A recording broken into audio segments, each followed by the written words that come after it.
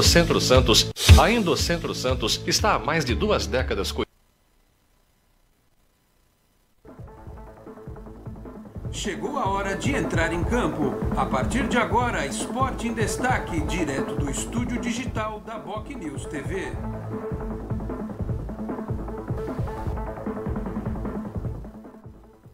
Pontualmente 11 da manhã, um grande abraço a você que nos acompanha, chegando com mais uma edição do Esporte em Destaque aqui direto do estúdio digital da Boc News TV.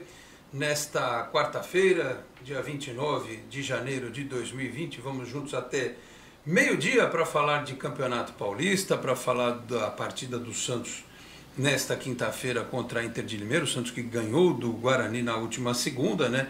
Falar de automobilismo, falar de gestão dentro do futebol, dentro do esporte, né, o que as empresas podem ensinar para os nossos gestores esportivos, né? Tantas empresas de sucesso que nós temos é, aqui na nossa região e Brasil afora, afinal de contas, né? É, e a gente sempre acaba enxergando muitas vezes nestas empresas bons motivos para serem copiados pelos nossos gestores esportivos, né? Porque o cara acha que é só colocar um computador ali, coisa e tal, que já há modernidade. A modernidade vai muito além do que simplesmente máquinas, né? um pensamento né? que faz toda a diferença.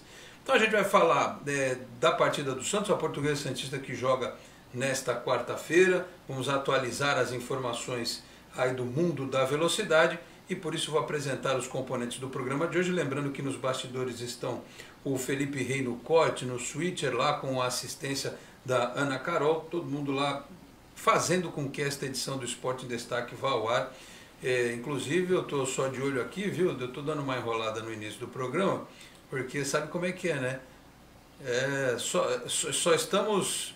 É, estamos nos dois ou só em um, Felipe? Só em um? Então depois a gente, é, como diz o outro, né? Como diz o ditado do, do automobilismo, vamos trocando o pneu com o carro em movimento. Mas estamos aqui ao vivo no Facebook, lembrando que às três da tarde tem reprise no canal de áudio e também no YouTube teremos a edição do Esporte Destaque, que recebe eh, nesta quarta-feira o comentarista Tony Vasconcelos. Tudo bem, Tony? Bom dia, um abraço. Tudo bem, Alex? Um abraço a você, um abraço ao Christian que está conosco, a toda a nossa equipe que está fazendo o programa, muito obrigado.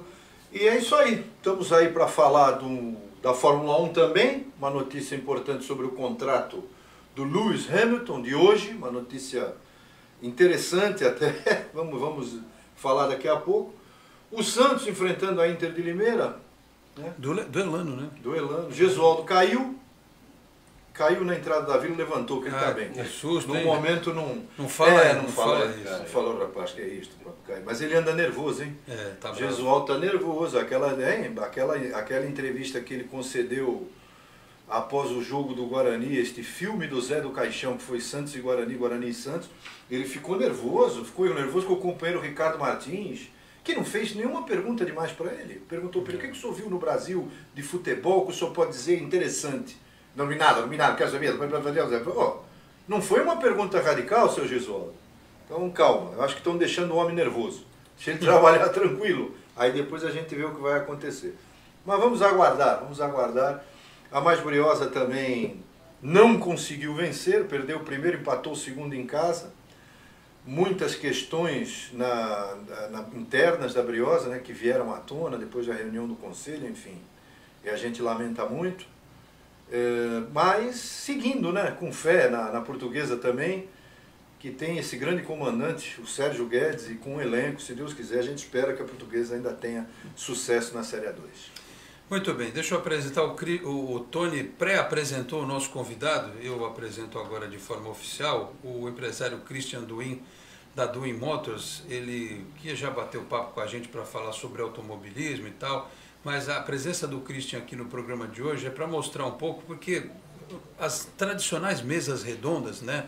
E essa mesa aqui é bem é redonda, né? Ela é literalmente uma mesa redonda.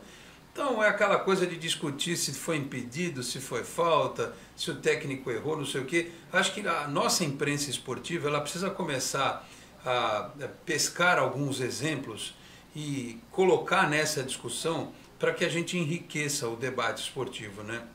É, de, é, é, de gestão de pessoas, de gestão de negócio, por que, que muitas vezes o cara é, ele consegue fazer uma carreira em ascensão, fazer uma empresa crescer.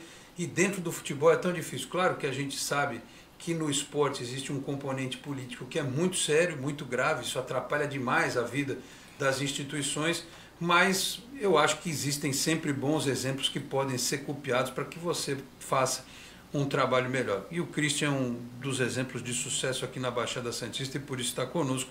Christian, obrigado pela presença, bom dia. Eu que agradeço o convite, Alex, e é uma honra estar aqui com vocês dois, Tony e Alex, são dois feras da comunicação. E o assunto que a gente vai debater aqui é paixão nacional. Eu acho que todo mundo fica do outro lado lá também é, interagindo, querendo aí manifestar opinião, porque tem polêmica, tem, enfim, atos inusitados e irritabilidade, né, e entrevista, mas é muita coisa. E agora começa a temporada de Fórmula 1, de dos campeonatos regionais, eu acho que tem muita coisa para debater e é uma honra estar com vocês. E, e o Christian lida com um negócio, Tony, que é o sonho de consumo, objeto de desejo principal do jogador de futebol. Aliás, a gente já escuta isso, né? O cara fala assim, não, não compra um carro, dá uma casa para sua mãe primeiro, mas não tem jeito, né? O cara dá a casa para a mãe, mas ele vai comprar um carro, né? É, que é uma, um sinal para o jogador de futebol que está crescendo, né? É, e aí muitas vezes o próprio vendedor, né, o cara tem que orientar, oh, meu filho, você está começando agora, não adianta você querer fazer um negócio, né, vai, vai devagar, vai, vai, esse aqui tem o teu perfil e tal. Já atendeu muito jogador, o, Christian? Já teve que fazer esse network e falar pro cara, ó, já pensou o Soteudo? Né? Alcança o pedal aí, Soteudo, você não, né? o Romário e tal. Tem que dar uma orientação também pro jogador. Isso, isso não é problema para eles, com certeza. Né? Mas é isso, a gente hoje eu vou atender um jogador, inclusive. É, não vamos revelar o nome. É, eu acho que eu, eu tenho até o dever de preservar, é. depois ele, ele manifesta.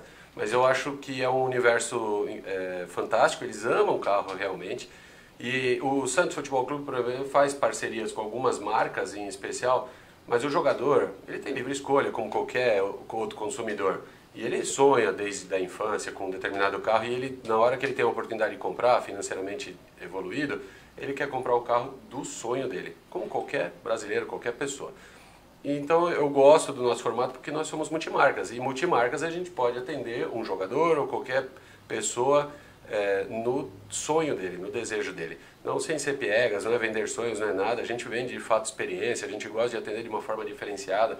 A nossa loja é diferente por ser em shopping, por ter um, um, um showroom indoor dentro de shopping também.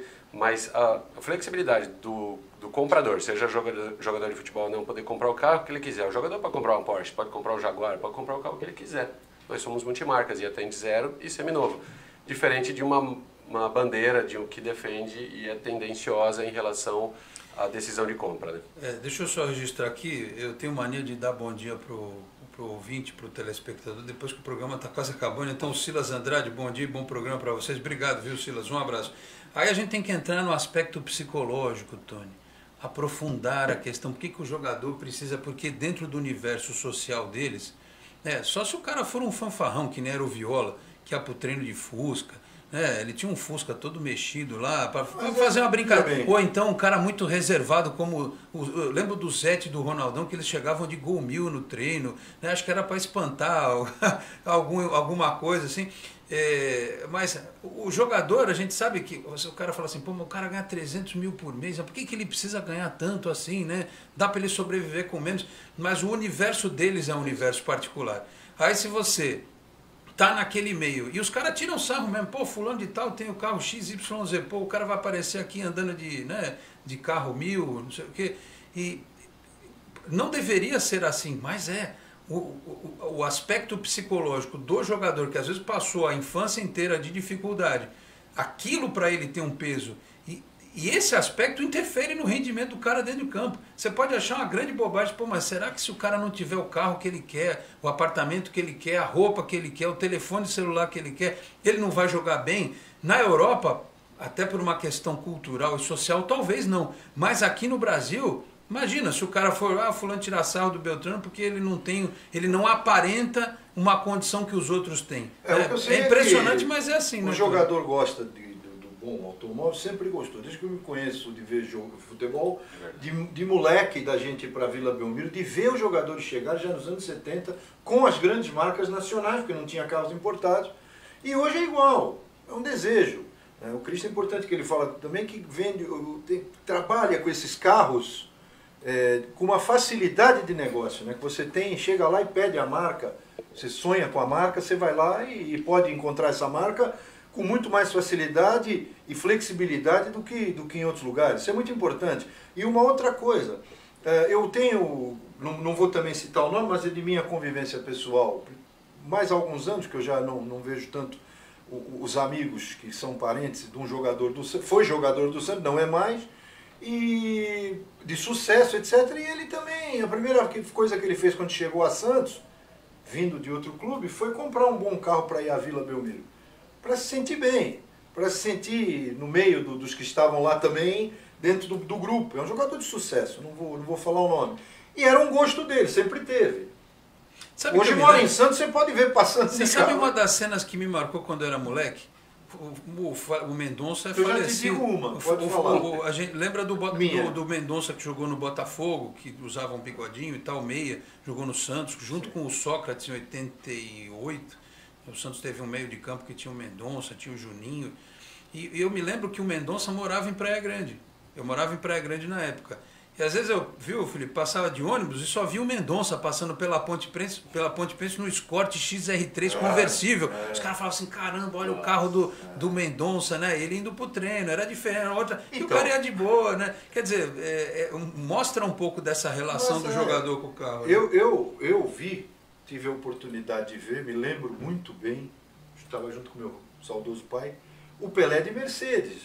Na Francisco Licera, lembro até onde Paramos do lado do sinal, o Pelé estava dirigindo a Mercedes. Eu, eu adorava o Santos, adorava o Pelé, só não sabia se olhar para a Mercedes ou para o Pelé, porque a Mercedes também, né? E depois me lembro de um carnaval, quando ficamos lá na praia estavam lá com um Monza, aquele Monza todo equipado, era Márcio Rossini e Hugo de Leon. Aquela é? zaga que um Aquela matava, zaga, é, O né? Monza estava inteiro, que eles não tinham chutado ainda.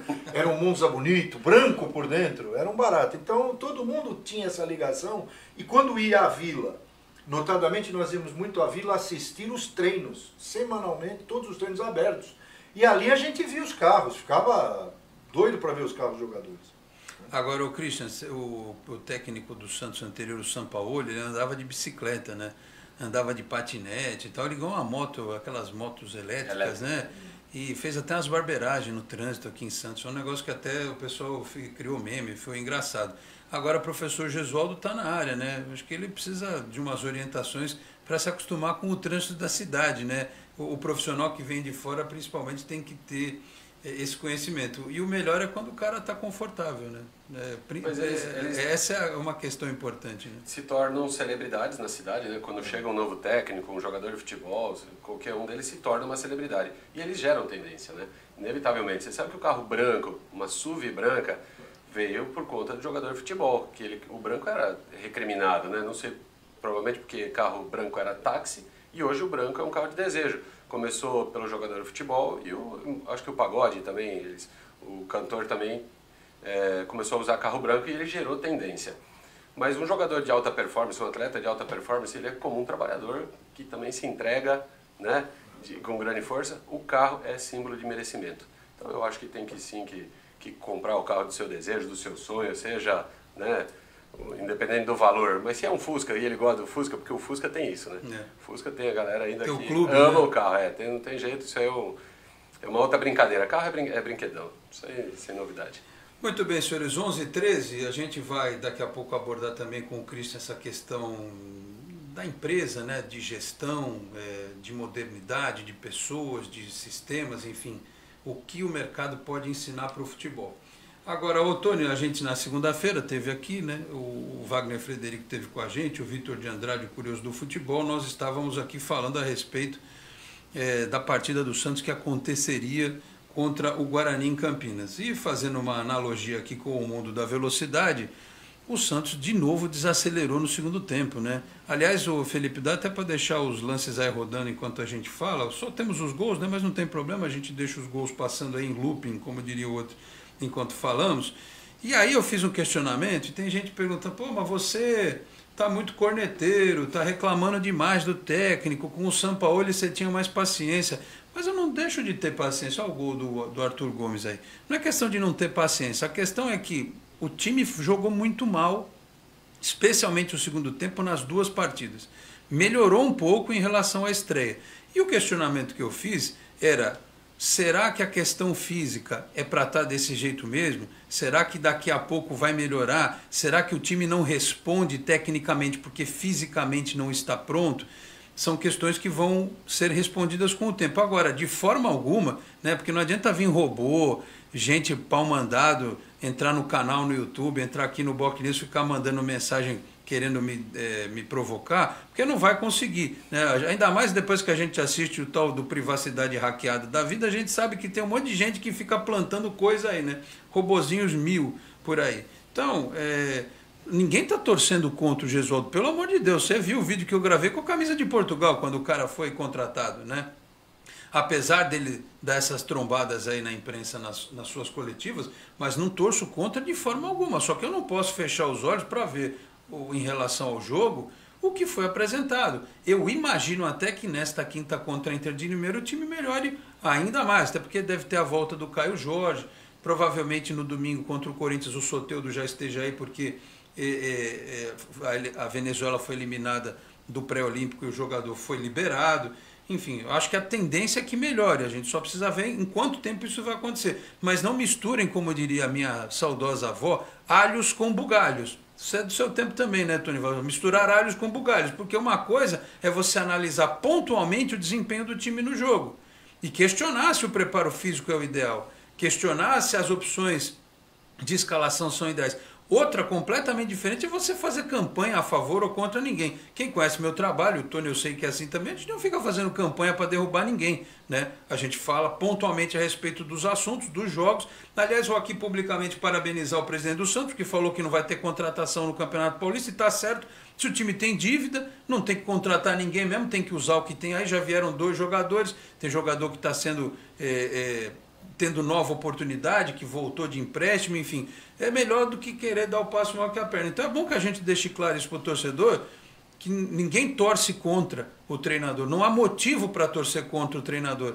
É, alguns torcem contra por questões políticas, né? Porque querem ver o quanto pior melhor para se aproveitar no final do ano. E essa não é a nossa função, nosso objetivo nunca foi. Então, só para esclarecer os incautos, né? As pessoas que não sabem interpretar texto, não interpretam nem o que está sendo dito, porque eu digo que a gente vive na era do emoji, né? Tem que pôr emoji em tudo para o cara entender o que a gente está falando, porque uma coisa é uma coisa, outra coisa é outra coisa, né, Tony? Situação do Gisualdo, nada tem demais. O treinador está começando o trabalho. Em Portugal já saiu lá em várias reportagens que ele está sendo pressionado aqui, eles não estão entendendo muito bem por quê, porque só tem dois jogos, ele mesmo respondeu, tenho 18 dias de treino, tenho dois jogos, não dá para cobrar. Torcedor fica chateado porque vê o efeito, muitas vezes, em campo, como nós estamos acompanhando de Santos e Guarani, de um, de um jogo ruim, um jogo fraco, um jogo onde o Santos se mostrou muito falho, não só na falha individual do goleiro do Santos, como no geral. Não culpo a parte física em sua totalidade, não. É bom que se diga. Existe sim a parte tática, ele tem um outro tipo de cadenciar o jogo, um outro tipo de levar a partida, mas eu falei isso aqui na primeira vez, logo que ele chegou. Cada pintor pinta uma tela de um jeito. Eu posso ver uma paisagem de um jeito e outro de outro. Quem tem talento para pintar, é claro. Então ele sabe o que ele está fazendo. Ele foi campeão no Catar, mas foi campeão em Portugal, que é mais importante. Ele foi tricampeão com o Porto. Tudo bem que eu sei que tem gente, aquela famosa frase do querido Armando Gomes que dizia com aquele time até a Hebe Camargo ganhava o título, é que se fosse técnica, de saudosa Hebe, porque na verdade era um baita time que tinha o Porto. Mas ele é um cara que conhece. Agora, ele é um sujeito pouco mais radical nas suas ideias. O que me dá mais receio não é o que está acontecendo agora. Eu acho que o Santos vai se encontrar. É que ele é um cara que não tem, no meu entender, até agora eu não vi e quero ver. Isso é que é o problema, analisar o que está sendo visto, literalmente que ele é um cara que não dá abertura ao seu estilo, à sua discussão. O próprio São Paulo o fez. Precisa ver se isso é em relação à imprensa ou se não, internamente é assim também. Pois é, né? o que eu estou dizendo, precisa pensar nesse caso. A imprensa tudo bem, vai. É uma coisa que acontece, ele tem uma leitura da, da, das, das entrevistas que realmente Ele disse isso em Portugal, né, que por uma, por uma emissora portuguesa, que a, a imprensa brasileira é mais uh, uh, agressiva. agressiva do que a portuguesa. Não sei, mas o fato é que precisa ter cuidado com o que ele está fazendo em relação às suas ideias serem aplicadas de qualquer maneira. Uma outra coisa, veja bem, o São Paulo começou com 4 a 0 contra o Ituano, tomando também ano passado, até que ele foi endireitando o time e no Brasileirão o time se acertou. Mas ele tinha outros elementos, né? Não dá para cobrar. Então, mas esse não dá para cobrar, também não dá para a gente dizer que joga bem. Eu não quero lembrar da época do Jair Ventura, que me dá um arrepio que eu tenho que tomar água com açúcar. Mas depois, né, que, porque realmente não, não é o caso, torcedor. Tem gente que já lembrou, ai meu Deus do céu, Jair Ventura começou assim. É. Não é o caso. Não é o caso até porque a informação não. é que os treinos são... Não, é, a, o, o, tipo de treinamento é, é, muito, digamos assim, é, é, o que se pratica no mundo. Eu não quero nem entrar em mérito nenhum, porque lá o Santos tem os setoristas, né? Os setoristas andam nervosos também, que você quando fala alguma coisa e não é setorista, dizem que você está falando, mas não vai lá. Então tem que avisar alguns que eu já estive muito lá, né? Pode não ser agora, porque não... a história é outra, né? Muita calma nessa hora que também futebol uh, eu vejo, e o Alex quer dizer, eu vejo muito antes e muito setorista. De qualquer maneira, o jogo é esse que está passando aqui, não é outro inventado, né? Então a gente sabe muita coisa que se passa através do bom trabalho desse setorista, do excelente trabalho, que também não merecem levar patada do treinador. Isso me irrita um pouco porque eu acho que ele está distribuindo algumas bordoadas desnecessárias, inclusive depois de, da partida. É, em qualquer setor, seja da, de uma empresa, ser autocrata, ser é muito radical, você não consegue a motivação que você precisa para você conseguir ter os resultados. Então, fazendo essa analogia, é, é um risco muito grande mesmo, Tony. É, é o meu receio. Olha, eu, eu não é sei, eu não sei não se, porque assim, o presidente do Santos, ele sempre dá entrevista dizendo assim, a imprensa é muito importante para divulgar o trabalho, não, não sei o quê. Aí no começo do ano ele pega e diz que a imprensa não pode falar ele sobre pediu, a questão é financeira do, do, do, clube. Claro que pode. Aí o treinador, pelo que eu entendi, isso pode ser é ruim talvez para nós, mas é bom que parece que tem uma sintonia entre eles. O Gesualdo vestiu a armadura de defensor do presidente, né? É, ele ele é, está fazendo ele está fazendo por exemplo o que o Vanderlei Luxemburgo fez muito tempo Sim. no Santos e em outros clubes. O, técnico quer para raio é diferente de outros né o Tony?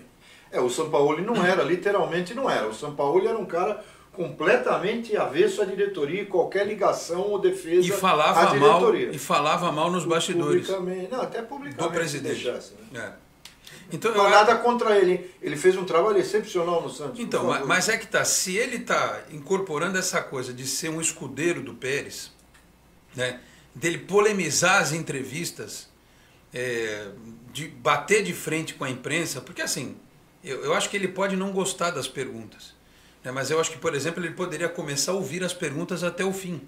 Ele interrompe todas as perguntas. Mas, mas, pode ser. Aí, aí os colegas, os amigos é, que eu tenho muitos virtuais no Twitter, por exemplo, falam assim, ah, que pergunta idiota. Isso né? tem mesmo. Claro que tem pergunta idiota. Tem é pergunta, óbvio, não, é mas, mas, tem pergunta idiota para o Donald Trump, que é presidente dos Estados Unidos. Então, mas, o Papa Francisco, mas aí, não sei. Mas aí até, até para idiot... cara fazendo a pergunta idiota. Até para idiotice ficar mais explícita, deixa o cara terminar a pergunta idiota e dá uma resposta não, em alto nível, entendeu? Tá Se você ficar interrompendo, fica parecendo que ah, o cara não consegue nem. Aí vira uma. Vira eu um barraco, acho que você está certo. Eu não consigo entender como um homem com esta experiência de 73 anos de idade e um conhecimento de futebol indiscutível, não estamos discutindo aqui, ele não consegue colocar a imprensa no bolso, no sentido, bom sentido, responder né, sair das perguntas, conversar, dialogar. Mas porque foram só dois jogos. Mas me né? parece que ele está nervoso demais, o que eu estou dizendo. não estou entendendo, talvez essa, essa maneira autocrática dele ser, essa questão, é que é, tenha, esteja refletindo aí. Porque ele não quer ouvir nada de ninguém até agora. Porque, sinceramente, eu volto a falar, as perguntas que foram feitas, idiotas ou não, não vou julgar ninguém, não foram perguntas nada demais. Ninguém fez nenhuma pergunta ofensiva para ele. Aliás, eu deixo só falar uma outra coisa. Se eu, tivesse, né? Mas não tem. O Christian talvez não saiba. Eu tenho lido assim, a imprensa corporativista. Eu, vou, eu posso afiançar para os senhores com todas as letras. Se existe uma categoria que é zero corporativista, é a, é a categoria dos jornalistas. Porque o que mais tem é cara puxando teu, querendo puxar teu tapete. batendo na porta de empresa, oferecendo, olha, o cara faz isso aqui, aquilo ali, eu faço por menos. É, é, uma, é uma categoria extremamente desunida Sim, e zero corporativista. Então, quando vocês forem criticar a imprensa ou o trabalho de um jornalista, façam-o pontualmente. Não venham com esse papo, ah, corporativismo. Não existe corporativismo na imprensa. É, é, isso é um fato é, claro, né? Existe, aliás, muita rivalidade, até certo ódio entre algumas pessoas que não é o nosso caso, porque eu sou amigo do Tony há, sei lá, uns 15 anos. Mas tem cara que divide a mesma bancada, pareceu o Joey Ramone com, né, né, Tony? Os Ramone se odiavam. se torna né? um negócio, Não era assim? um negócio. O cara se suporta no ar Para poder ganhar dinheiro. para poder ganhar dinheiro, né? E, e, e passam muitas vezes uma ideia para o torcedor, para o público, que é um negócio. E não é. Então, vamos, vamos devagar com esse negócio, porque assim. E outra coisa também, eu acho que eu tenho que ser, tenho que ser justo, o, Christian. Do mesmo jeito que eu falava assim, o São Paulo não tem que ser simpático com o funcionário do clube, porque os caras diziam que ele era arrogante, antipático, não sei o quê. Se ele apresentar resultado, ótimo. Se o Gesualdo der uma bordoada na imprensa, em, em cada coletiva, e chegar no jogo, o time arrebentar, não tem problema nenhum. O cara tem que apresentar o resultado. Eu também dele. concordo, mas o cara, sinceramente, a pergunta, você fazer uma pergunta, eu poderia ser eu, por exemplo. Eu me coloco no lugar de estar lá fazendo a pergunta. O que, que o senhor viu no futebol brasileiro que o senhor destaca depois dessa sua chegada, vendo os clubes e tal? Não me nada, não me nada, não quero saber. Isso é uma pergunta ofensiva? Não. Não é, né? É uma pergunta profissional. Então ele pode ter ficado irritado até que perguntaram ali, o São Paulo jogava de precisa- um jeito, só joga de Precisa ver se outro. já a primeira pergunta ele já não pilhou. Às vezes, é- então, às Talvez vezes é uma tenha pergunta rasa. primeira. É, uma pergunta rasa para chegar na pergunta oficial, mas ele já cortou na primeira, né? Ah, Enfim, tudo bem, mas eu concordo com o Alex. Se o cara tiver resultado, infe- infelizmente, né, o futebol é resultado, não é educação. Por né, exemplo, mas o. Sérgio, Sérgio Araújo. Assis está aqui na nossa live. Ele pergunta aqui, Alex, é melhor jogar, jogar mal e ganhar do Guarani ou tomar várias goleadas de Ituano e outros?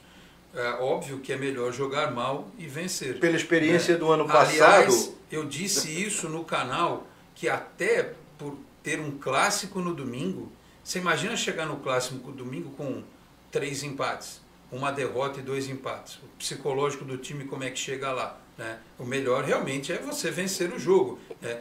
É, e aí a gente pode caminhar mais para frente é, de esperar o resultado de médio prazo. né? É injusto é, querer que o treinador, porque são é, circunstâncias diferentes, é, é, a análise tem que ser diferente. Então acho assim que realmente é, a crítica pontual aos jogos e até ao comportamento do treinador, aliás, como acontece com tantos outros, a gente sempre reclamou do mas então do Luxemburgo, do vale jeito que eles todos, tratavam a vale imprensa, enfim. É, mas não é por isso que a gente vai torcer contra. Não. Até porque realmente algumas perguntas elas são. é, eu, eu fico me colocando no lugar do cara, né? Não, eu acho que o cara algumas deve. sim. Algumas, algumas sim. Mas enfim, não é por isso que a gente vai desejar o mal, torcer contra, né?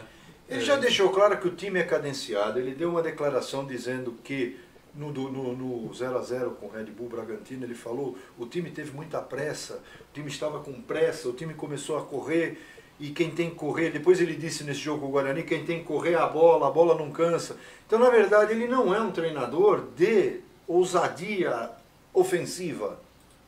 Não adianta ele dizer que é, que até o momento se viu que não era, e se viu isso em outras oportunidades quando ele dirigia clubes, como quando dirigiu o Porto mesmo, que tinha só craques. Nesse formato de campeonato paulista também, me colocando na condição de técnico, como cabeça de chave, como, como grupo, passa com certa tranquilidade. Acho que não exige tudo, né? não, não exige tanto, não sei, não posso falar jogo treino, nunca vai ser, mas ele não tem aquela pegada de um campeonato corrido e que ele não pode desperdiçar nenhum ponto. Eu acho que é uma etapa que é início de temporada e ele vai... É, e- e- é um experimento. jogar morno, né? É um experimento, né? Às vezes para muito clube, que nem o Atlético Paranaense, agora o Flamengo, você vai testando, vai, É vai trabalhando para quando chegar na Libertadores, no Campeonato Brasileiro, você ter um trabalho mais desenvolvido, né? Enfim, eu acho que a gente pode também olhar por esse aspecto. A gente não faz isso, né, o Cristian? A gente quer o resultado imediato, mas é importante que, se é hora de testar, o Arthur Gomes, o Renier que está treinando aí, Importante, né? é. Ah, O Marinho está fora, o Soteldo na seleção. Deixa- Ele vai precisar muito do Soteldo. Né? É, Muito. O Soteldo é absoluto no, no, no- Santos hoje, é que está na seleção. E o Marinho quebrou o pé, né? foi. é, vão ser. Três, quatro semanas ou mais? Vão quatro semanas. ser seis semanas. Seis semanas, Seis né? semanas. Vamos para o intervalo? Deixa eu só registrar aqui também o Luiz Eduardo Cacheta. Bom dia, Alex. Não tem corporativismo, tem muito jornaleiro ruim.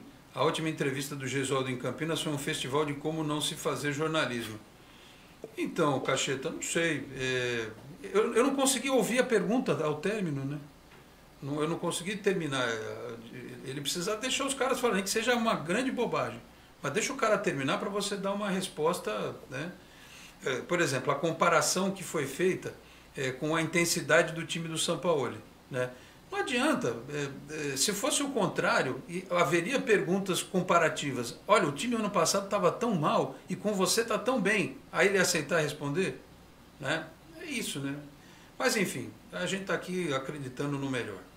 É, vamos para o intervalo, Felipe? 11h30, rapidinho, 30 segundos para a gente beber uma água aqui e já voltamos, porque o Tony vai falar um pouco do automobilismo, tem o jogo da Portuguesa Santista, né? E a gente vai passar os próximos jogos aí do Campeonato Paulista e o Christian vai dar uma, uma palavra importante sobre essa questão da gestão de um negócio, o que, que o futebol pode aprender com as grandes empresas. 11h31, vamos para o intervalo, voltamos em 30 segundos. Até já.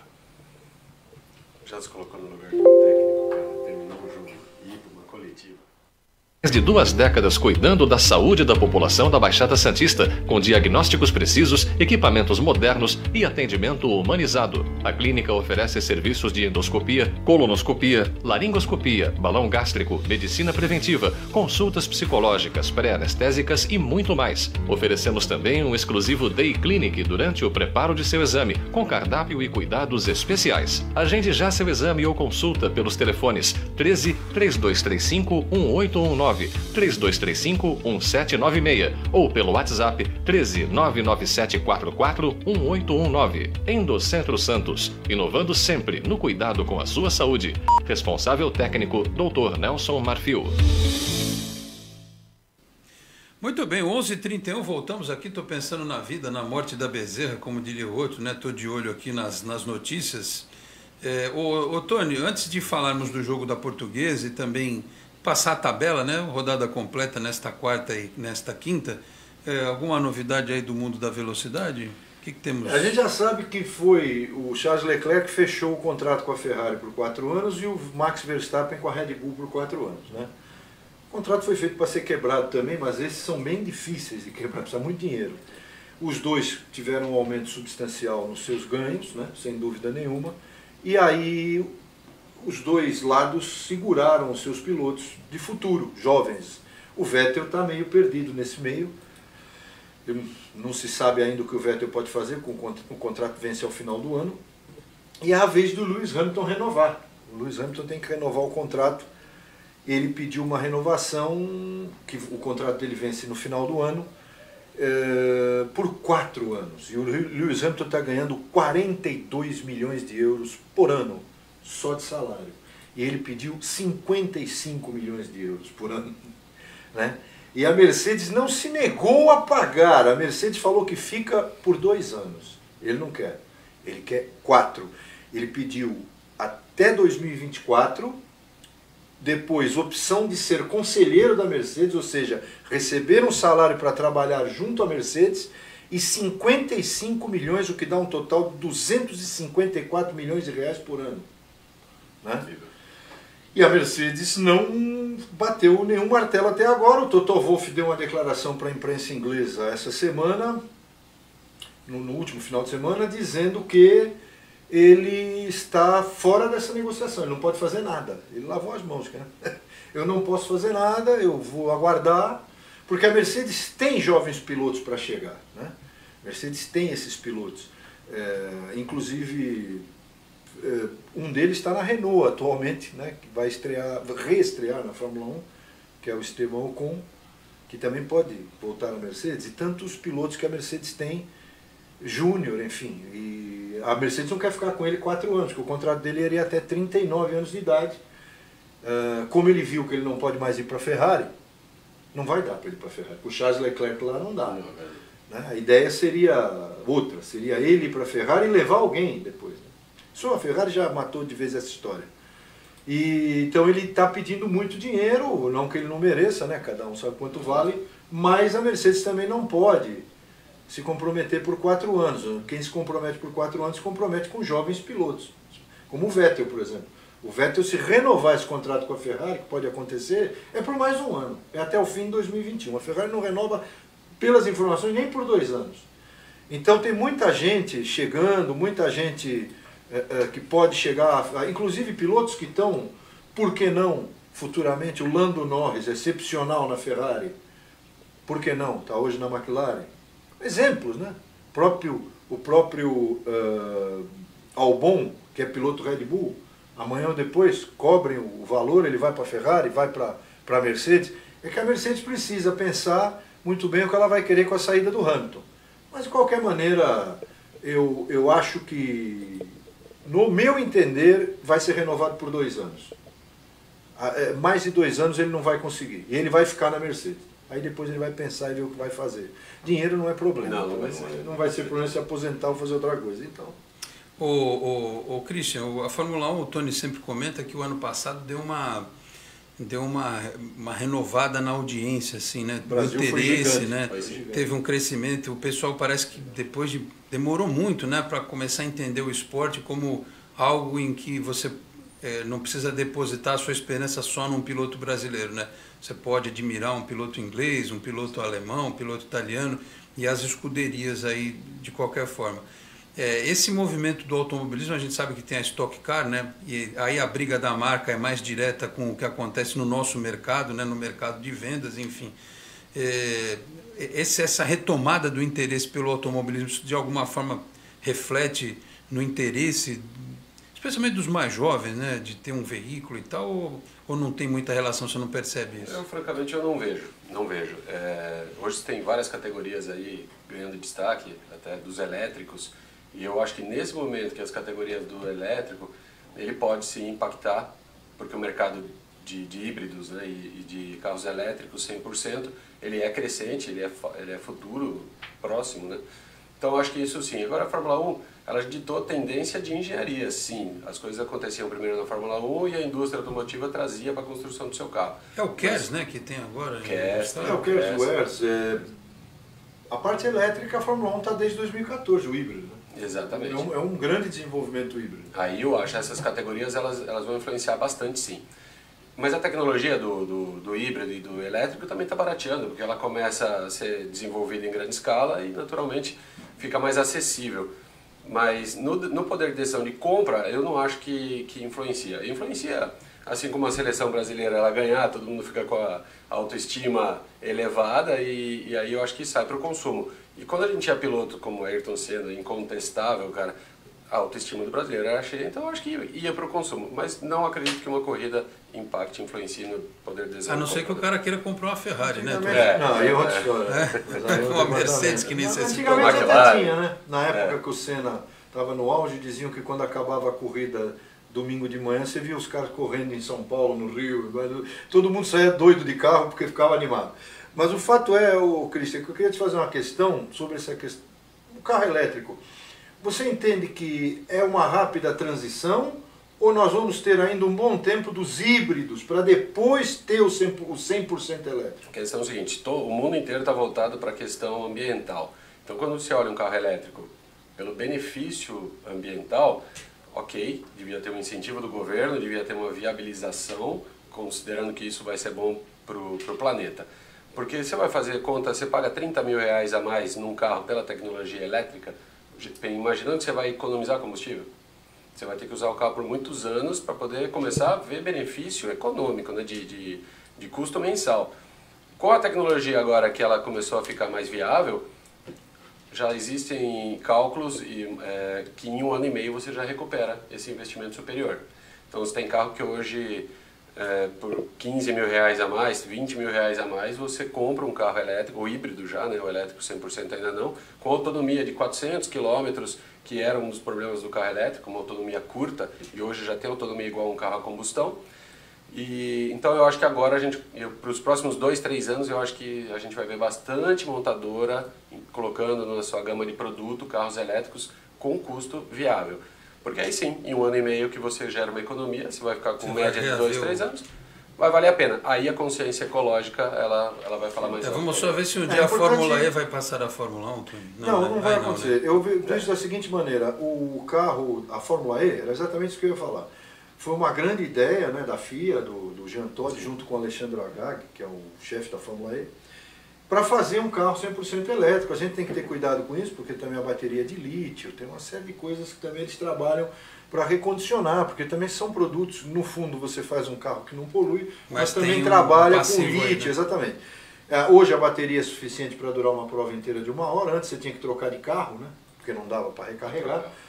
Tinha dois carros, agora a partir desde a temporada passada o carro funciona durante toda a prova de uma hora. Mas a Fórmula 1 ela trouxe à realidade o que as pessoas não percebem às vezes, porque ainda não é uma realidade das ruas.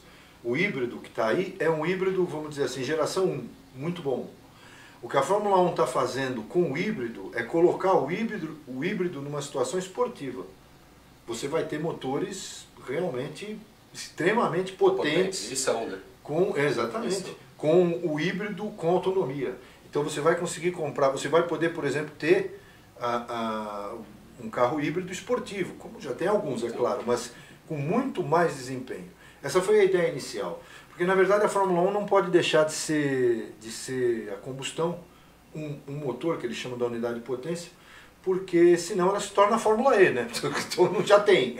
É outra Então, categoria, né? É outra categoria. Ela precisa trabalhar aerodinâmica, cada um construir seu carro, etc. O que pode acontecer é que esses híbridos tenham uma autonomia maior, você comece a andar elétrica em alguns momentos da prova com a parte elétrica só. Isso pode acontecer dentro do motor a combustão, como não acontece hoje, que é simplesmente um aumento de potência. Né? Simplesmente não, que é complexo, mas é um aumento de potência.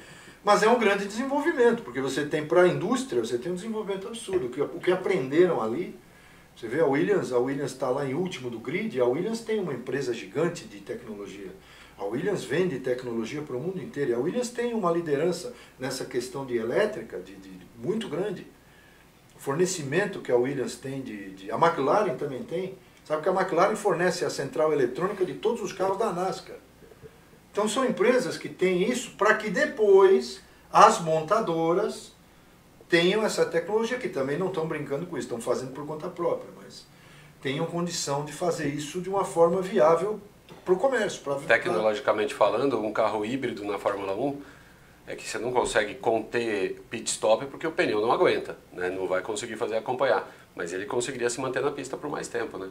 Sim. Porque o combustível não tem jeito, ele vai esgotar e você Sim. pode correr o risco da pane seca. É. Ô, ô, Tony, Luiz Eduardo Cacheta manda aqui. Tony, 2020 vai ser mais um passeio do seu Hamilton. Pois é, Cacheta, um abraço. É, eu acho que vai ser difícil realmente. Eu estou, apesar de ferrarista, né, mas neutro quando eu comento, eu acho que a Red Bull tem uma grande chance com o motor Honda de fazer frente à Mercedes. Os japoneses não vêm para brincar, nunca. Eles tomaram uma derrota, foi uma derrota muito grande que eles tiveram com a McLaren. Eles na Red Bull não vieram para brincadeira. Quando mudaram e assumiram a Red Bull e a Toro Rosso, agora já está sendo, já, já é chamada Alpha Tauri, não é mais Toro Rosso. Eh, Eles entraram com, com uma questão de vencer ou vencer, porque senão eles vão embora da Fórmula 1. O japonês sai da Fórmula 1, ele não quer saber de, de esperar muito tempo, eles, né? E, e a história deles é muito grande. Quando eles nos anos 60 fizeram carros, bons carros, e não conseguiram vencer, venceram algumas provas históricas com, grandes pilotos, mas acabaram saindo. Depois forneceram motores nos anos 80 e se deram muito bem, foi vitória atrás de vitória. Senna, antes dele o Piquet com a Williams e assim vai.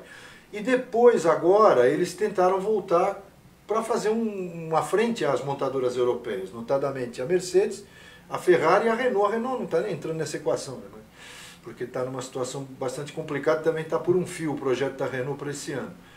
Ah, até o fim do ano nós vamos saber. Mas acredito que a Red Bull vai brigar muito com a Mercedes. E infelizmente para os ferraristas, a Ferrari ainda vai ter que correr atrás. Pelo que eu estou ouvindo de zum zum zum, parece que o carro que está sendo preparado tem vários problemas já no túnel de vento, já deu um monte de Mas problemas. você percebe é, que a, a- a Fórmula 1, o automobilismo, eles investem é, pesado, testam, experimentam, mas tudo dentro de uma organização, né?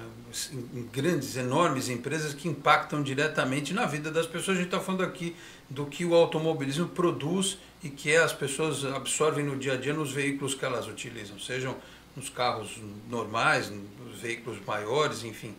É, a gente percebe esse impacto.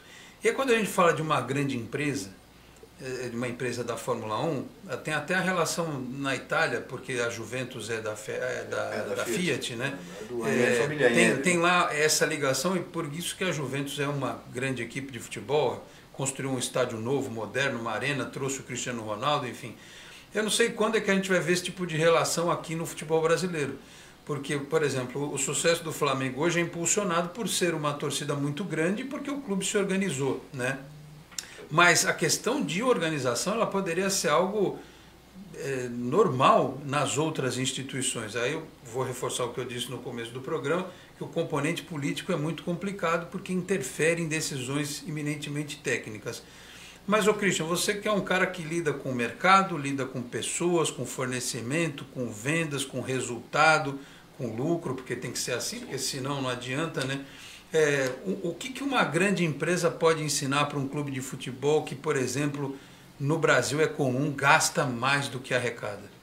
Bom, isso é, começa pelo planejamento, né? Eu não sei os, ao certo o que, que os clubes fazem em relação ao planejamento, o Santos falou que então não vai contratar, ok, deve ter algum tipo de planejamento.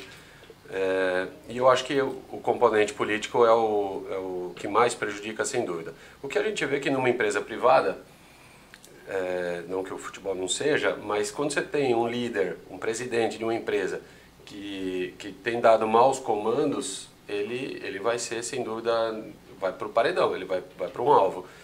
E essa, esse organograma, essa hierarquia do futebol, ela é muito preservada. Ele, ele pode fazer um monte de, de atitude, ter atitudes aí contra o desempenho, contra o, o, a organização do clube, e ele não é penalizado, ele perpetua.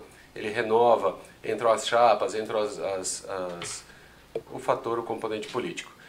No momento que você fala de um técnico, aí eu digo que as empresas podem usar, porque eu, eu observo muito, eu utilizo isso na empresa. Falar, planejamento de um campeonato de longo prazo, como o Campeonato Brasileiro, serve para a gente planejar um mês, dividir um mês em quatro partes, para a gente chegar na primeira semana com, com, com tal produção, isso aí ajuda. Você tem, dá motivação, o técnico tem um elemento muito forte na motivação, o elemento tático, então acho que esse as empresas podem usar. Mas o que, que a gente vê aí no futebol é isso. Começa pela casa. Os estádios, muitos estádios estão deploráveis e os novos foram feitos de maneira que só gerou dívida. E eu acho que essa parte, essa parte ela, ela vai conflitar muito com, com o formato corporativo mesmo de uma empresa privada. O que, que eu vou falar, Alex? Eu acho, eu acho que é isso. Eu acho que o presidente ele é muito blindado. Eu acho que ele não sofre sanções. Aliás, isso que você falou, numa grande empresa, se o CEO, o presidente, sei lá, ele formal, o conselho gestor tira. Aliás, o Santos é um time que tem comitê de gestão, né? Mas o, o conselho ele tem esse. O clube, cada um tem a sua característica. O clube, por exemplo, aqui os, tentaram tirar o presidente do Santos, mas teve uma assembleia de sócios. Numa empresa não é assim que funciona. Se o conselho gestor lá da empresa achar que tem que trocar o presidente porque ele não está dando resultado, troca. Né? E clube que tem dono é assim também que funciona. Então são peculiaridades diferentes. Mas o, o principal realmente é a questão de, de organização, de exemplo, né? É, de, de, eu, por isso que eu até parabenizei a diretoria do Santos, porque o ano passado acho que o clube deu um passo maior que a perna, em termos de pensar em contratar para agradar o treinador. Você já trouxe um técnico agora que está disposto a trabalhar com o que tem, com o que é possível, e virar para o torcedor e falar assim, é, eu acho muito honesto isso assim, ah, esse ano é o seguinte, não vamos agora no Campeonato Paulista contratar ninguém, nem um lateral esquerdo para ser reserva do Felipe Jonathan. Mas vamos com o que nós temos aqui. Se passar de fase na Libertadores ou para o começo da Libertadores, aí talvez seja outra história para o Campeonato Brasileiro, enfim. Mas eu acho que transparência é um negócio muito sério. Se você vira para o torcedor e não vende uma falsa ideia para ele, ele não fica com, ele não se sente traído. A mesma coisa, se a conversa do Pérez com o Gesualdo esse ano foi assim, ó, é o seguinte, a gente tem essa condição. Você topa, você vem com a gente, ótimo, porque o que o São Paulo reclamou ano passado é que venderam para ele uma história que não era real. Enfim, eu acho que é isso que as empresas. Aliás, eu acho engraçado quando muitas empresas e corporações pedem é, é, palestras com técnicos de futebol. É. O palestra com o Bernardinho ainda vai lá, porque é um cara multicampeão, né? Mas tem uns técnicos aí que dão palestra e falando, meu Deus. O Filipão dava direto até o 7 a 1. O cara não consegue nem resolver a vida dele aqui no clube, que dirá fazer uma palestra. Deixa eu mandar um abraço para o Dirceu Arruda, para o Carlos Oliveira, para o Caio Russilo, que em breve estará conosco aqui no programa, já veio aqui com a gente. O Roberto Micaelis também, se eu estiver enxergando direitinho, sim, estou. Agradeço a todos pela audiência. Ô, Tony, hoje tem a Briosa em campo, hein, rapaz? Contra o Aldax, sete da noite fora de casa. Exato. Um empate e uma derrota. Precisa ganhar, né? É Ou no preciso. mínimo, na pior das hipóteses, empatar para ganhar. No final de semana aqui, o Urico Mursa, né? O português deu sorte na tabela de jogar os jogos de domingo, é o Rio Claro, domingo aqui, né? É, hoje a portuguesa é a 14 colocada do campeonato, cai só dois, né? Claro que é muito cedo, obviamente, mas olhando para a tabela hoje é 14. Eu já falei aqui que esse campeonato da 2 é assim, você tem uma velocidade muito grande. 15 jogos, um turno só, não tem ida e volta. Então a portuguesa pode ter o grande sucesso em quatro dias ou ter mais problemas gravíssimos em quatro dias. Você pode chegar agora, ganhar hoje, ganhar domingo, um abraço. Está resolvido o problema, é só daí para frente continuar a tentar fazer o melhor. Porque apenas com uma derrota e um empate já começou a ficar ruim, veja você. O campeonato é difícil por isso, muito difícil. É necessária a afirmação do, do, do- dos jogadores, sabe? A, a colocação dos jogadores e do grupo como um grupo que pode vencer e ficar sem ganhar no campeonato de turno único, é um problema muito sério. Esse jogo é muito difícil. É, não só porque todos os jogos são difíceis na 2, mas porque é uma equipe que tem uma estrutura, que está jogando, né, já tem um investimento. E a gente sabe que a portuguesa também tem passado e saído, graças a Deus, eh, nos bastidores tem passado alguns, algumas turbulências. Quem acompanha as redes sociais já viu e leu. E agora está se assentando um pouquinho, porque não é fácil, o particular amigo Carlos Ribeiro, que é presidente, não é fácil administrar um clube da Série A2. É difícil. Captar recursos, patrocínio, trazer os jogadores, fazer todo o trabalho de futebol aliado ao do clube, que não pode se esquecer que o clube tem um grande patrimônio ali, né? A portuguesa tem o seu patrimônio de clube, de, de, de, de tantas de, tantos, história. de história, de tantos sócios, né? Que, que aproveitam as instalações de lazer, enfim, que não, não é o caso nem do Santos, né?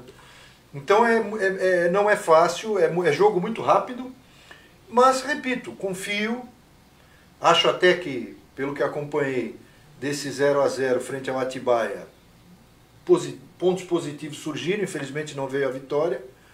Ah, o Sérgio Guedes sabe muito bem o que faz, como sempre na A2, isso vale para qualquer semana, acho que na A2 é fundamental. A defesa tem que ser uma defesa daquelas duronas mesmo, difíceis. A defesa de um time da portuguesa tem que pegar mais realmente, porque a gente tem visto dificuldades nesse, nesse, nessa transição de bola, foi o que vi domingo. E nesse caso específico ah, dessa, desse jogo de hoje, ah, não vamos nos desesperar com o empate. Né? Eu acho que também é um bom resultado, fora, apesar de tudo, e pensar no Rio Claro em casa. Mas é um- imagina é um- se é vem de difícil. uma derrota?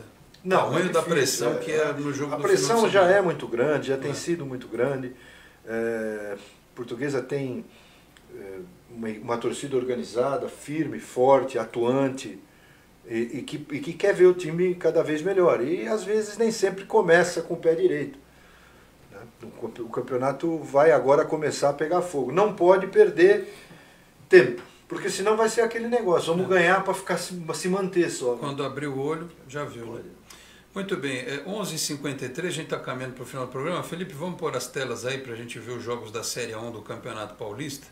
A tela no telão, vamos lá, para a gente acompanhar os jogos aí. Eu já tenho aqui no computador, mas nós vamos ver a tela com os próximos jogos. Olha só, começando hoje. Acho que lá no ABC, pessoal não. Será que o pessoal não trabalha, a Federação Paulista? Eu sei que é Quatro e meia? 4 e meia, Santo André e Água Santa, no Bruno José Daniel, é, sei lá, né? Talvez para atender a grade da televisão, né? Para concorrer, daqui a pouco vai concorrer com a Champions League, né, Felipe? Ah, daqui a ah. pouco a Champions League volta, aí os caras fazem o planejamento de passar para concorrer com o Juventus e Paris Saint-Germain, passar a Santo André e Água Santa. É bom, né? Jogo do Campeonato Paulista, quatro e meia da tarde. Né? É por isso que a gente falou com o Christian aqui sobre gestão, sobre planejamento, enfim. Até quem organiza parece que não pensa muitas vezes nas coisas, mas enfim, vamos lá. Às 7h15 hoje tem Ituano e Botafogo. O Palmeiras recebe o Oeste, esse jogo vai ser no Pacaembu. O São Paulo vai jogar em Araraquara contra a Ferroviária, 9h30. Aliás, dois jogos seguidos do São Paulo e Araraquara, né? Jogou com o Palmeiras Sim, e agora. Por lá, é. E, é, não sei se ficou mais. Não sei também, É, será que voltou? é. 300 vilões, não. É, nesta quinta-feira, é, no- tem Novo Horizontino e Bragantino, 7h15. Santos e Inter de Limeira, 7h15 também. É, Mirassol e Guarani às 9h30. Ali está é, 9h30, Pon- é Ponte Preta e Corinthians no Moisés Lucarelli. Nesta esse, esse quinta. horário aqui também para a nossa querida Baixada Santista é, é triste. né? 7h15 é horroroso. É triste, né? O É cidadão horroroso. quer ver o jogo, primeiro se ele vem de outra cidade, né? Ele já. Eu posso falar para você, por experiência própria, eu não vou conseguir nenhum jogo 7h15 da noite esse ano. A não ser quando eu tiver de férias. É um exemplo. Porque eu saio do trabalho 8 e É um meia. eu não consigo estar. eu- até eu sair e chegar, eu vou estar no segundo Não, tempo. independente da, da- do cidadão, de você tá, você pode estar até em trânsito, mas é um horário que dificilmente você já está no lugar, né? Se você trabalha, você dificilmente já está às 7h15 lá dentro sentado. né? Mas sabe o que, que é isso? É o Santos ser refém do contrato da televisão. É, eu sei. né? Porque é, na cabeça da televisão, 9 e meia quem joga é o Corinthians, é o Palmeiras. Por isso que o torcedor do Santos fica bravo, né? É, o Santos virou, virou preliminar, né? Para grade de televisão virou preliminar. O Né? Flamengo já está colocando tempero nessa conversa, né? É, a rediscussão do contrato Do deles. contrato, É, que vai começar a acontecer mais. né? É, ou você ter transmissões é, diferentes, próprias, enfim. É, eu, eu penso assim, os caras acham que você, quando compra um pacote de pay-per-view, você vai consumir um jogo, ah, nós- os mais fanáticos certamente, o cara começa às quatro e meia no jogo do Santo André e vai emendando um atrás do outro, né? Mas em sã consciência, um ou outro jogo vai te interessar. Você quer ver o jogo do teu time. Então por que, que não coloca um, um bloco de jogos num horário e um outro bloco de jogos no outro e você inverte isso com frequência, né? Porque há um prejuízo de marketing, de imagem para o clube que joga sempre 7h15, né? ou que eventualmente jogasse à tarde. O Santo André talvez queira colocar o seu time para jogar um dia 8 horas da noite, 9 horas da noite, não 4 e meia. Né? Até para facilitar a ida do torcedor. Ó, eu- Enfim, eu, eu entendo essa coisa de grade, Eu sou- mas eu acho uma coisa um pouco radical. Eu, eu- sou radical. Eu, também- eu sou radical. Futebol, dia de semana à tarde, ou é para aposentado ou para jovem que ainda não trabalha. Tá certo? Futebol é lazer. Futebol tem que ser dia de semana à noite, fim de semana a hora que quiser. Pode até ser de manhã. Não pode ter jogo quatro e meia da tarde. Isso não existe, pô. De quarta-feira. Pô, não É, existe. Olha que loucura. Mesmo, mesmo que lote, não sei. Aí vão dizer, ah, mas tá vendo? Teve um público bom. Então temos ou desempregados ou desocupados. Mas vou dizer sinceramente, não existe lugar nenhum do mundo. Então portões abertos, né? Não sei. Portões abertos, tudo bem. Vai entrar até o. Não, O pipoqueiro, Bom, né? mas veja bem, não pode. É simples. Não era. Não, vivi a vida inteira no futebol, não era assim. Então não sei o que dizer. Bom, vamos aguardar, né? Em relação ao jogo do Santos contra a Inter de Limeira, estava vendo aqui o noticiário, é, acho que o Gesualdo deve ter um Caio Jorge à disposição. Deve ser o o Soteldo deve é. voltar só para domingo, né? É, já não é mal. É, o Arthur Gomes ainda está aquela questão, porque ele sentiu né, lá em Campinas, quando ele fez o gol. É, mas eu imagino, Tony, apesar aqui de algumas cornetas radicais, né? Sempre tem um corneta radical. Aliás, tem um que me persegue, rapaz. Eu não sei o que, que o cara gosta tanto de pegar no meu pé. Vai fazer outra coisa. O senhor tem Né? paciência. Tem almoço pro cara fazer, tem louça Mas para tá- tá lavar. aí já? Tá não, já foi, não? já foi. Falou e já foi Não embora. vai nem né? deixar o Tony ver para não responder. É, não, deixa quieto, porque é, no outro programa ele, ele, ele, ele vinha de mansinho, no outro programa. Aí ele vinha já com uma ignorância pra cima. No tô canal, no YouTube é a mesma coisa, no Twitter é a mesma coisa. Aí Mas a ele gente. é verdadeiro? É real? É real, mas sei lá, não é a gente deixa ele seguir a vida dele que é mais cornete. fácil, né? Me cornete, eu quero que me Isso. cornetem. Não, não. É papo furado. O cara tá precisando procurar ter o que fazer na vida. Mas enfim, eu acredito que o Santos vai dar uma melhorada contra a Inter nesta quinta. Não, também. Não vejo. Não ainda daquele jeito que a gente quer. Ele- Mas se fizer o primeiro tempo que fez contra o Guarani e mais um pouquinho do segundo tempo, acho que dá para o torcedor imaginar um time competitivo para domingo Eu contra o o Corinthians. torcedor tem que ficar ligado realmente com esse otimismo, tem que se ligar também nos outros, nas outras equipes, porque o Santos, se quiser brigar pelo título do Paulista, a gente tem que ver, eu vi o jogo do Corinthians e achei que o Corinthians está bem. Organizado. Tá, né? O Corinthians tá, Contra o. Mirassol sofreu no segundo tempo. Não, tudo bem, são, ainda é o começo, mas vejo que também o, o, o Santos tem que ficar ligado nisso. Acredito que o professor Gesualdo tenha visto os jogos do Corinthians que vai enfrentar no primeiro clássico domingo, né?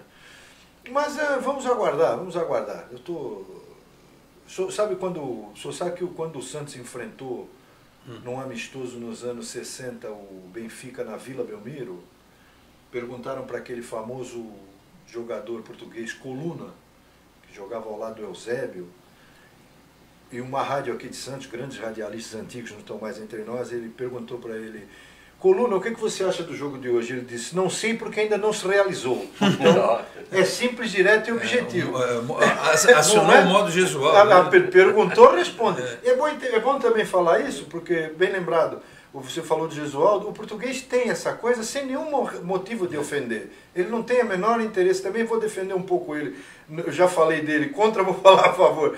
Ele também às vezes não quer te ofender. Você chega em Portugal, você pergunta pro cara assim, escuta, a que horas que, que abre? A hora que a porta estiver levantada. O cara te responde na maior, mas ele não, não tá te querendo mal, entendeu? A- Aí a gente, A vai, é a essa. gente vai ter que fazer uma discussão sobre a interpretação é, correta É, da língua portuguesa. Aí já viu. Senhores, meio-dia, tem que fechar esta edição do Esporte em Destaque. Christian Duin, empresário da Duin Motors, com a gente aqui hoje no Esporte em Destaque. Obrigado pela presença. Daqui a pouco começa a Fórmula 1, né? Aí vamos passar os, os melhores momentos das corridas aqui também, né? E aí o Christian volta ao programa também para falar de muitos assuntos, mas também para. Porque aqui a ideia do programa é abrir espaço. A gente fala do Santos, o pessoal me cobra muito né? O carro-chefe do programa é o Santos, mas a gente vai falar da portuguesa, vamos falar da Fórmula 1, vamos falar do Jabaquara, de- do nosso esporte regional. Quando puder também vamos abrir espaço aqui para os atletas do esporte amador.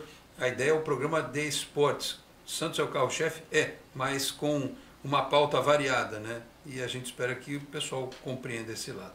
Christian, obrigado pela presença, um abraço, volte outras vezes aqui ao programa. Eu que Certo? agradeço, muito obrigado pelo convite. Lembrando que sábado vai ter o Beach Soccer Legends em Praia Grande, que foi, foi o Rodrigão da RF eh, Empreendimentos lá, ele, ele que organizou, e a Duin vai estar lá. Então vai ser um evento muito legal, vai ter jogadores do São Paulo, do Palmeiras, ex-jogadores, né? Denilson deve estar lá, Giovanni deve estar lá, vai ser um evento bem legal para a Baixada Santista. Beach. Soccer Praia Grande. Em Praia Grande, Horário? a Legends, a partir das 9 da manhã A no partir sábado. das nove. Legal. Ah, E legal. eu quero bom. vocês lá, Antônio, Alex. Não, vamos bem, lá, vamos... obrigado. Só de espectador, né? Porque lá É, com as Legends eu sou no. Cinco minutos, não joga? Não, não, não, não, tem jeito. Não tem Atualmente É isso aí, jeito. vamos O máximo é ficar na, é na churrasqueira curtir. do lado. Aí sim. Muito bem, muito obrigado ao Christian pela presença. Aliás, aqui, vou contar uma história bem rapidinha. Teve, lá nos anos 90, teve um jogo desse de, de jogador, mas eram profissionais nativos ainda lá em Praia Grande. E depois do jogo teve um churrasco numa casa no canto do forte. E tava lá o falecido Gaúcho, tava o Djalminha e tava o Edmundo. E o Edmundo tava em baixa. E ele tava acertando a vida dele para o ano seguinte. Era final de 96 isso. Estávamos lá, eu e o Cosme Rimoli, que hoje é do R7, na época era do Jornal da Tarde. E eu fiz uma matéria de página inteira com o Edmundo para o Gazeta de Praia Grande na época. E em off, o Edmundo disse que já tinha conversado com o Vanderlei Luxemburgo, viu, Felipe? E ele ia vir para o Santos. Ele ia formar a dupla de ataque no Santos em 97, ia ser Edmundo e Miller. Ia arrebentar. E aí, no final das contas, alguém não quis que o Edmundo viesse para o Santos, porque ele tinha um histórico complicado. Enfim, o Vanderlei ficou bravo, porque ele tinha feito toda a amarração para trazer o Edmundo e aí não quiseram fazer o negócio. E o Edmundo, naquele ano, arrebentou jogando pelo Vasco ao lado do Evair. Né? É, tá vendo a história? Tá vendo, Felipe? E aí eu me lembro daquela entrevista porque fiquei pensando depois, caramba, imagina o Miller jogou pra caramba no Santos aquele ano, né? Verdade. Se pudesse ser aquela dupla, quem sabe temos boas histórias lá em Praia Grande também, neste novo evento de beat soccer. Tony, um abraço, hein? Até a próxima. Um Até semana abraço. que vem. Não, lembrar também que eu agora lembrei que eu organizei a festa do Serginho Chulapa, faz mais de 20 anos aí na ponta da praia, e veio a turma toda de ex-jogadores, né? Então com a festa foi no. Não existe mais o Regata Santista, né? E por uma certa hora, lá às 11 horas da noite, tava uma festa danada, aquela música, e todo mundo comendo aquela sardinhada, e veio um cidadão que era juiz de direito lá para reclamar. Desceu do prédio e falou: Eu quero aguento mais, vou chamar a polícia. Aí o Serginho chegou na porta e falou: Dá licença. O negócio é o seguinte, entra, toma cerveja e come uma sardinha. Ele entrou e ficou lá, não reclamou mais, comeu, bebeu, ficou madrugada. É isso aí, um abraço. Muito bem, senhores. Meio-dia e quatro. Fechamos assim esta edição do Esporte em Destaque que você acompanha em reprise por áudio, hein? Você quer escutar só o áudio no canal de áudio do Boc News a partir das três da tarde, tá certo? E durante a tarde também a nossa versão, este mesmo programa que o senhor assistiu agora, está lá disponível também no YouTube, no canal do YouTube do Boc News. Agradecendo ao Felipe Rei nos trabalhos técnicos lá no nosso Switcher, com a Ana Caroline também por lá. Nós voltamos sexta-feira, 11 da manhã, com mais uma edição do Esporte Destaque. Um grande abraço a todos e até lá. Tchau, pessoal. Você acabou de ouvir Esporte em Destaque, direto do estúdio digital da Boc News TV.